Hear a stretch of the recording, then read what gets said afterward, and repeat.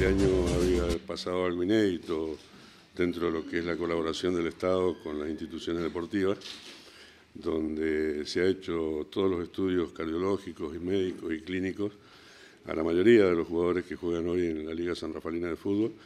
en todas sus categorías. Eh, nosotros estamos albergando alrededor de 3.000 chicos en la liga que todas las semanas practican deporte. Entendemos que es una función social importante porque es sacar los chicos de la calle. Algo que siempre veníamos reclamando era que el Estado no lo veía esto, que el Estado, en lugar de ver que era una inversión, creía que era un gasto, que es lo que nos pasa con el Estado provincial. Eh, lamentablemente es así y bueno, desde el municipio este año se salió con todo, realmente hay que destacarlo. Eh, se le han hecho los estudios a casi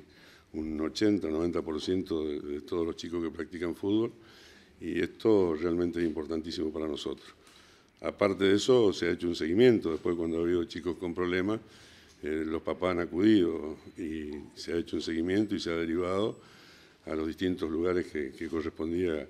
especialistas que correspondían a la materia. Ya se comenzó hace varios años con esta actividad de colaborar con algunos clubes haciéndoles los controles electrocardiográficos eh, que, que solicitan en la liga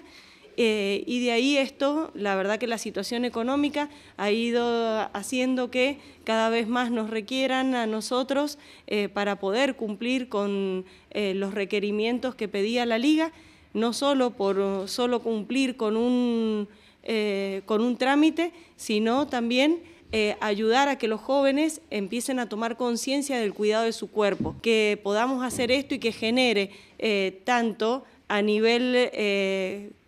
general como a nivel individual en cada niño, lo que es eh, saber que ese día se tenía que hacer control de su salud para ver si puede jugar o no, eh, y este cuidado de la salud es el que le deja una enseñanza para el resto de la vida, tanto como para él como para la familia. Y no solo hemos cumplido con todo lo que nos han pedido aquellos que querían jugar en la liga, los electrocardiogramas se le hicieron a todos los mayores de mm, de ocho años y en esta segunda etapa, cuando ya terminaron las fechas de la liga, nos estamos dedicando a todos los otros grupos deportivos, eh, tanto los del municipio como, eh, como de otras fundaciones y clubes que no participan en la liga y de distintos deportes como hockey, rugby, eh, en las colonias y en algunos otros grupos que nos los han solicitado.